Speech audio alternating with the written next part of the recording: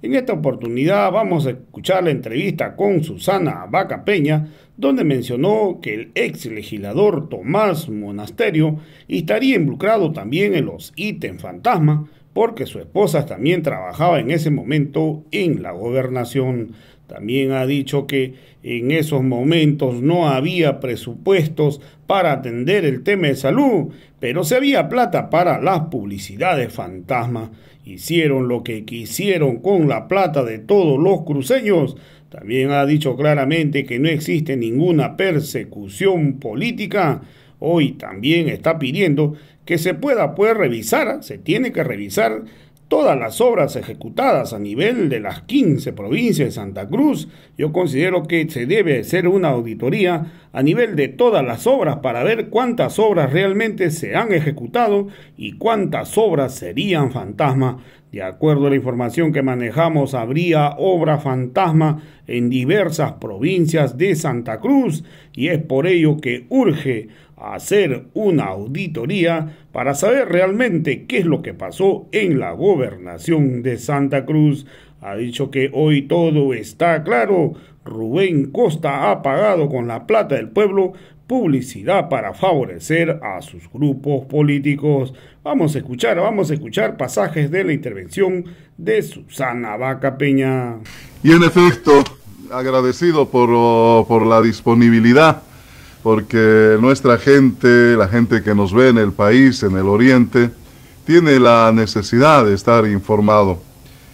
Susana está para, para comentarnos, para informarnos respecto a esto, de este otro hecho que de repente saltó en Santa Cruz, después de los famosos ítems fantasma, eh, que, que involucra a autoridades municipales, eh, de la alcaldía de la ciudad de Santa Cruz, eh, de repente aparece otra denuncia y lo hace el gobernador actual eh, contra el ex gobernador acusando de publicidad fantasma.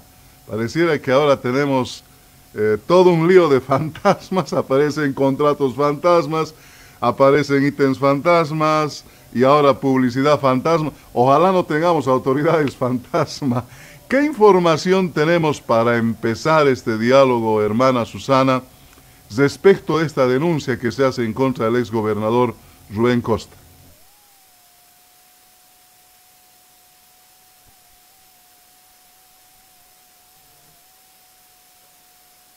Por favor, si me escucha. No. ¿Lo escucho? Sí, ¿Se corta? Ah, no, hemos tenido una pequeña dificultad. Ahora sí, por favor, adelante, la escuchamos. No, yo le comentaba que como este es un tema sensible, y lo, ¿por qué lo manifiesto como, como término sensible? Por lo que en el tiempo que nos tenían encerrados en las cuarentenas, nos tenían eh, aislados de estar eh, de forma presencial, asumiendo funciones, haciendo el comercio, nuestra gente. Otros se dedicaban a llenarse los bolsillos de plata de los cruceños. Y es triste ver, primero, eh, que viene de una línea de demócratas y a dónde quiero llegar.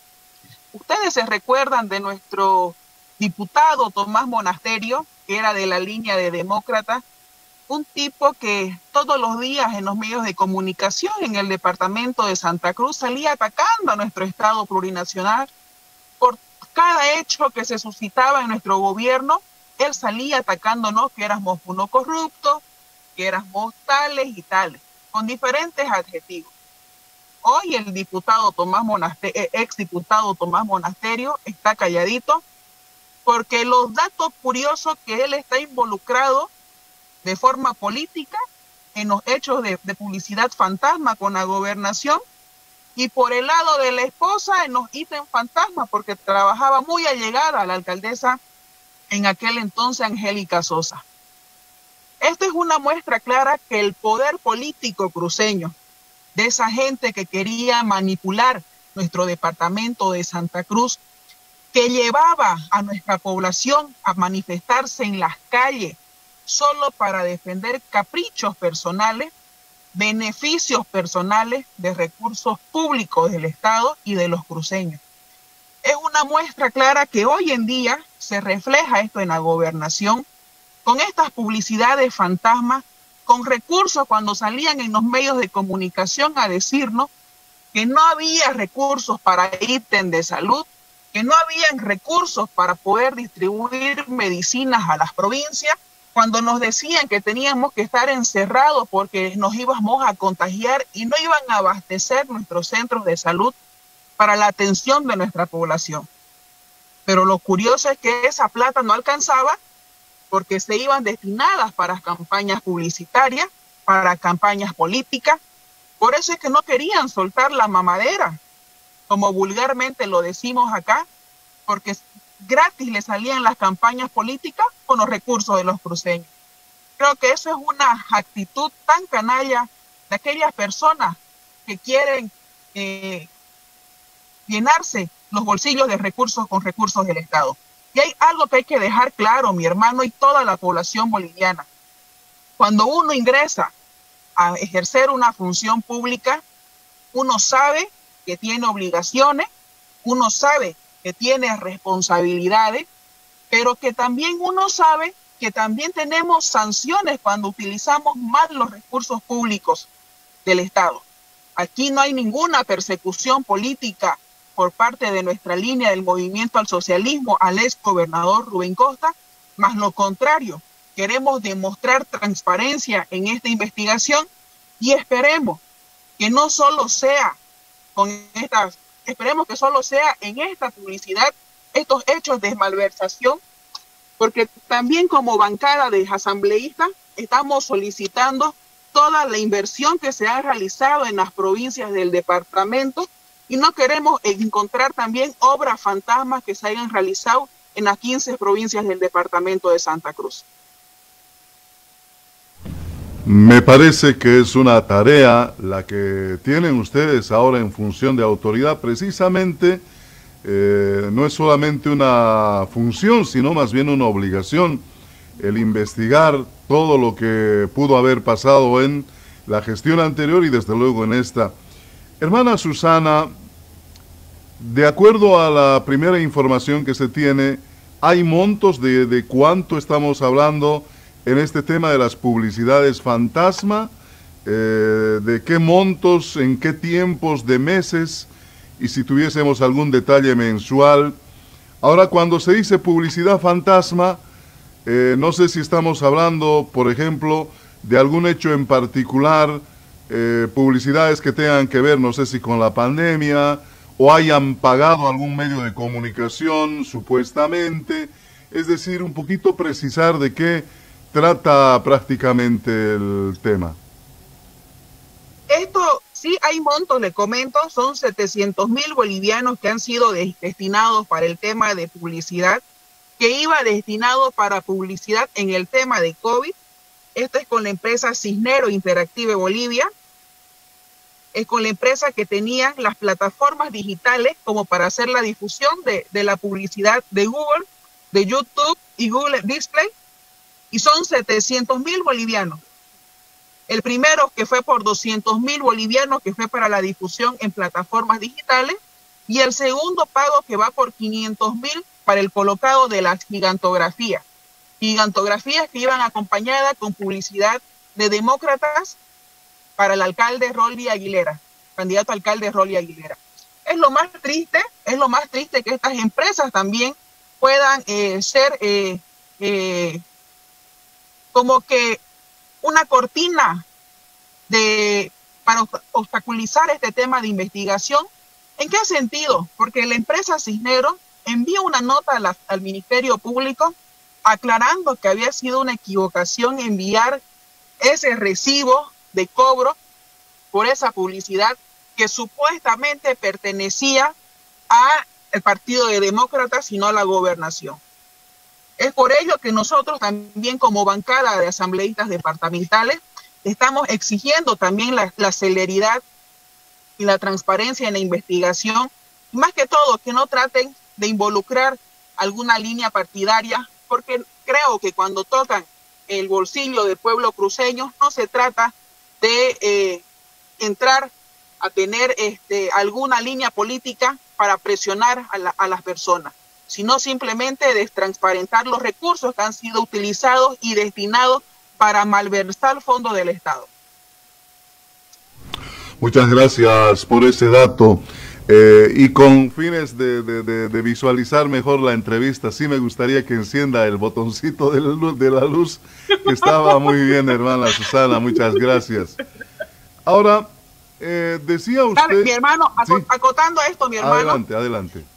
Hay algo también que llama la atención, que después de haber transcurrido más de seis meses de gestión del gobernador actual Luis Fernando Camacho, no se tenga una auditoría clara del manejo de la gobernación durante estos 15 años. Hemos dado continuidad a una administración pública sin conocer los antepasados de la gestión que se ha realizado del gobernador Rubén Costa. Hay una malversación que día a día un asambleísta de, la provincia de Valle Grande menciona en cada sesión de la asamblea que es una, una máquina de eh, oxígeno que se realizó en Valle Grande, cosa que nunca funcionó y le destinaron también muchos millones. Recién han concluido una auditoría que ha demorado sus varios meses y esperamos que también esas auditorías sean enviadas al Ministerio Público para que hagan su investigación. Nosotros vamos a hacerle el seguimiento correspondiente como asambleístas para transparentar toda la gestión que se haga en el gobierno departamental, siempre buscando que los beneficiarios siempre sea nuestro pueblo cruceño y de sus provincias. Claro, eh, y tiene, tiene toda la razón. Le iba a preguntar si en medio de, esta investigación que ahora ustedes han comenzado a hacer, me llamó la atención el hecho de no poder, esperemos no encontrar obras fantasma. Eh, ¿Han ustedes hacer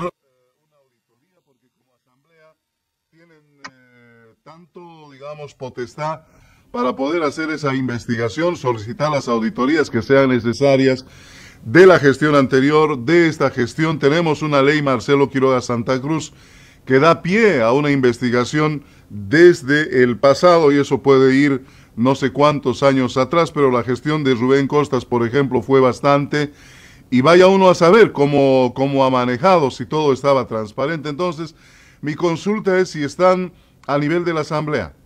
Y pongo comillas, si es posible además hacer una solicitud de auditoría, tomando en cuenta que en la Asamblea también hay eh, quienes son, para decirlo, oficialistas y la bancada de oposición, seguramente ustedes tienen muy pocas posibilidades en algún momento de afrontar cualquier demanda teniendo al frente al grupo oficialista que no permite seguramente eh, y no quiero poner palabras en, su pensamiento, sino simplemente conocer si es posible hacer una auditoría como debe ser, con miras a transparentar todo lo que haya pasado en la gestión de Rubén Costa y lo que esté pasando actualmente, y si de repente ya lo han hecho.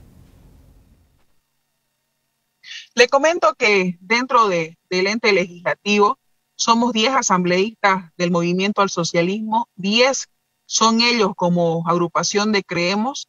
Los cinco pueblos indígenas muchas veces aprueban eh, todo lo que concierne a la gestión del gobernador Luis Fernando Camacho y el de una agrupación ciudadana de ASIP también se plega a la línea de ellos.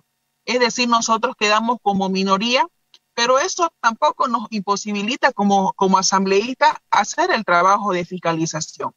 Cada uno de los asambleístas ha hecho el requerimiento, así como una muestra que no se ve muy bien, pero es una muestra de todo lo que estamos requiriendo de información a nivel provincia de la ejecución realizada en las gestiones 2005, 2010, 2010, 2015 y 2015-2021. todos estos documentos que nos están respondiendo la parte del Ejecutivo va a ser el trabajo que desarrollaremos nosotros de fiscalizar cada una de las inversiones que se han realizado en, en nuestras provincias. En caso que no exista la aprobación por parte del Pleno de la Asamblea Legislativa Departamental, directamente nos dirigiremos al Ministerio Público a presentar las denuncias que correspondan ante hechos de malversación de fondos o algunas obras que, que existan fantasmas en las provincias. Hermana Susana, volviendo al tema primero, al tema de, los, de las publicidades fantasma.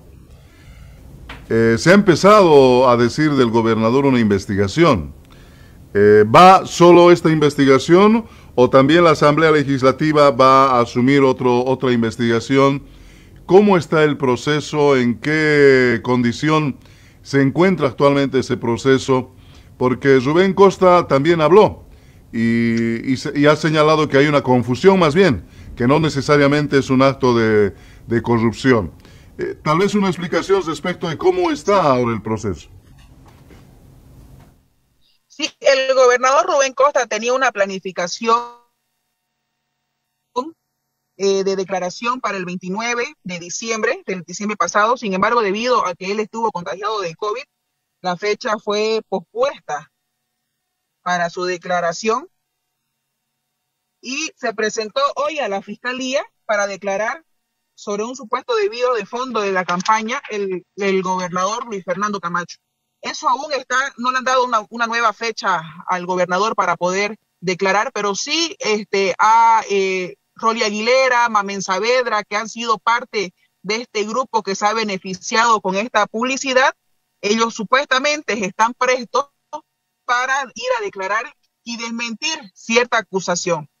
Pero eh, cuando ya han pasado los datos y los datos concuerdan con un sistema de publicidad, más las fechas de salida de los cheques y del pago concuerdan con, con la publicidad de una, de una línea partidaria, no hay como no equivocarse, ¿no? Es decir, hay que asumir con mucha responsabilidad aquella malversación de recursos que le robaron al pueblo cruceño y lo destinaron a una campaña política. Hermana Susana, adentrando un poquito más en este tema eh, de la publicidad fantasma, si ponemos en consideración de que esta publicidad tuvo que ver o tiene que ver también con, la, con campañas contra el COVID, recordemos que cuando apareció el tema del COVID estuvimos todavía en una gestión eh, de facto de la señora Áñez y en medio de su gobierno eh, se han emitido decretos que sancionaban drásticamente acciones que iban en contra de, mm, eh, del COVID, es decir, acciones que no apoyaban al cuidado de la salud. Entonces, si, si fuéramos a tomar estos elementos, podríamos decir que este hecho de corrupción o malversación puede también ser asumido como otro tipo de delito tomando en cuenta que tiene que ver con el COVID o se queda simplemente como un hecho de corrupción eh, o malversación de fondo. ¿Qué otros delitos eh, implica esta acusación contra Rubén Costa? La denuncia está por delitos de incumplimiento de deberes, conducta antieconómica, malversación y uso indebido de influencia. Esos son los delitos que está eh, tipificado en la ley y son los que están en el Ministerio Público siendo investigados. Aquí el Ministerio Público debe de dejar de lado el cariño y las amistades a este grupo de personas que claramente eh, nos muestran que se han beneficiado de nuestra población. Cuando muchas familias no tenían para comer, cuando muchas familias eh, no gozaban de una atención en, los, centros de salud que correspondían a la gobernación y al municipio, otras familias eh, se hacían millonarias de la noche a la mañana con estos recursos que eran destinados para el COVID. Es lo más triste, es lo más lamentable que personas que criticaban la administración de nuestro Estado sean los más corruptos de nuestro pueblo cruceño. Y realmente es una pena que, que, haya pasado todo esto, ¿no? Porque en la realidad mucha gente vivíamos con lo que podíamos y peor si no había ningún trabajo, esto era mucho más. Entonces, hermana Susana, para quienes nos escuchan y siguen, estamos conversando con la asambleísta Susana Vaca Peña, asambleísta departamental por Santa Cruz. Al inicio usted nos hacía una referencia, hermana Susana, de la cantidad de personas que pudo haberse involucrado. Dentro de la denuncia se tiene tipificado, establecido cuánta gente estuviese eh, en todo este lío de, lo, de la publicidad fantasma?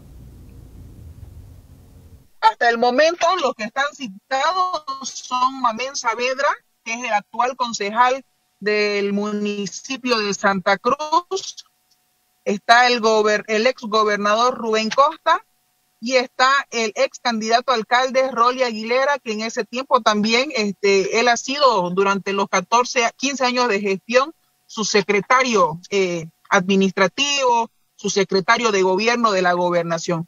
Pero en este caso no solo vienen a ser solo ellos, aquí deberían de llamar a todos quienes ya fungían en sus listas de candidatos a concejales, quienes estaban pendientes de las campañas de demócratas, porque eran funcionarios públicos todos. No nos olvidemos que también de como concejal estaba Paola Parada, que era una ex secretaria también de la gobernación, y quienes se han beneficiado de toda esta publicidad son todos los que tienen que ser investigados. El alcalde, el que iba de su candidato a alcalde, sus concejales, más toda la parte administrativa que era el equipo de la gobernación. Para mí todos deben de estar involucrados en esta investigación y creo que el Ministerio Público debe de hacer el trabajo también responsable y de oficio para llegar a que esta gente pueda devolver esos recursos públicos de los cruceños. hermana Susana, cuando usted hace referencia a esa lista de las personas que están involucradas, me llama la atención eh, el hecho de, decir era funcionario de la alcaldía, era candidato a la alcaldía, o era secretaria o secretario de la alcaldía, eh, y estamos hablando de recursos que tienen que ver con la gobernación. Entonces uno dice, mm, había mucha vinculación entre la gobernación, la alcaldía, eh, el manejo de poder de la gobernación y la alcaldía realmente se muestra como, como algo que, los políticos eh, intentaban hacerlo. a ver si nos puede usted pintar cómo es el panorama eh, de quienes manejan finalmente entonces el, eh, la gobernación, la alcaldía, pareciera que es un pasapasa de personas que vienen de la alcaldía a la gobernación, de la gobernación a la alcaldía, y quienes estarán por detrás, no sé, usted que está por ahí en Santa Cruz conoce mejor. Aquí, pues, mire, hubo una, para que conozca la población, los candidatos, el actual gobernador Luis Fernando Camacho no puso candidato a la alcaldía de Santa Cruz. La actual, la que era alcaldesa en aquel entonces, la arquitecta Sosa, no puso candidato como SPT a la gobernación. Demócrata tampoco puso un candidato a la gobernación, pero sí le puso candidato a la alcaldía. Y si usted pone, los pone a los tres juntos, es un triángulo de poder que querían manejar nuestro departamento de Santa Cruz y ir en contra de todas las políticas de Estado que implementaba nuestro gobierno nacional. Eran grupos tan cerrados que hasta los mismos candidatos y diputados actuales de Creemos tenían cuotas de poder en el tema de la, de la alcaldía municipal, de diferentes líneas políticas, como que apoyaban para que continúe una malversación.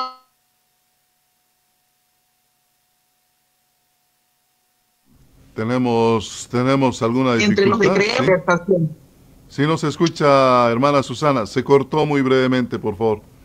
Si puedes repetir. ¿Aló? Sí, ahora lo escuchamos. ¿Ahí me escucha? La escuchamos. Yo, yo le menciono que son, eran tres grupos de poder.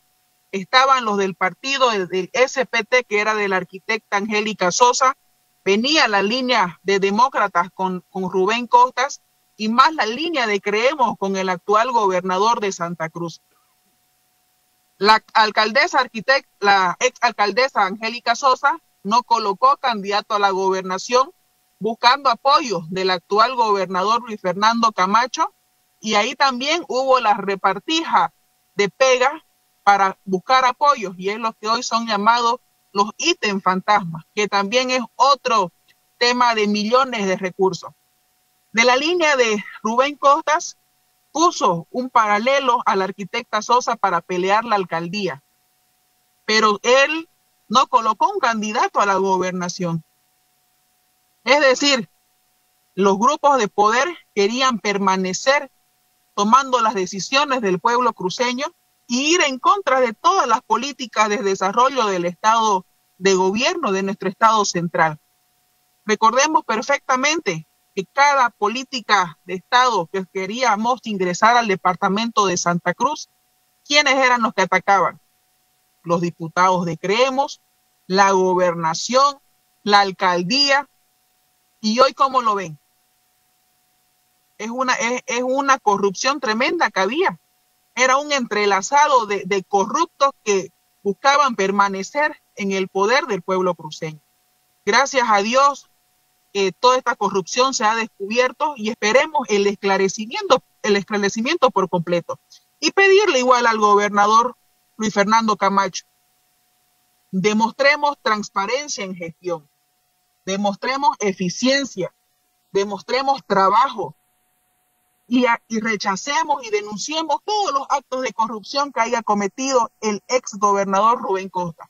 Esto no es un tema político, es un tema de transparentar los recursos públicos, el cual nos designa para su administración cada ciudadano de nuestro país y es nuestra obligación nosotros como autoridades administrar de forma transparente esos recursos. Hermana Susana, le quedo agradecido por esta entrevista. Eh, ojalá podamos hacer seguimiento con ustedes como nuestras autoridades que buscamos la transparencia y bueno, finalmente informar de lo que viene aconteciendo porque otros medios de repente no lo hagan. Así que le agradezco la entrevista. Si hay algo más que complementar, por favor, tiene los micrófonos de la radio y las redes sociales para hacerlo. Muchísimas gracias.